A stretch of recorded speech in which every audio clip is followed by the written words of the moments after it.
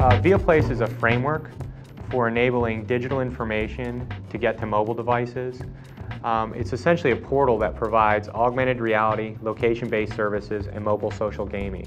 We've worked with a number of companies, such as Yamaha, to enable customers to find the nearest service center for their Yamaha motors, Johns Hopkins to enable students and alumni to find points of interest on campus.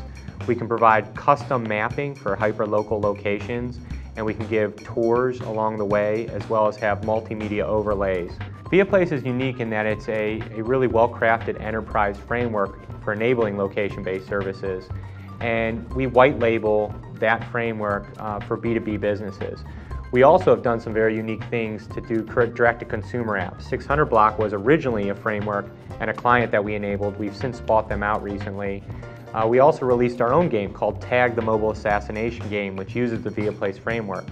And Tag's really unique in that it's a networking game, but it's essentially a first-person shooter game that allows people to track their friends on Foursquare, um, essentially shoot them in public with their mobile device, um, and we're adding things such as proximity mines, aerial strikes, and um, some fun weapons as well. Then at the end of the game, it's uh, a game of elimination. One person wins, and um, then they get a badge that, uh, that shows they're victorious on a tag game.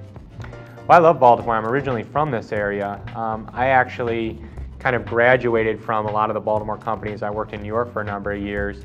But when the iPhone came out, I knew I wanted to start my business and I wanted to get um, some real bright talent that I could really grow into the space with a lot less overhead so that my employees wouldn't be living in a shoebox in Soho. They could actually go buy their own houses. I knew Baltimore was the right fit. My name's Todd Marks. I'm the CEO of ViaPlace LLC, and we've been in business a little bit over two years.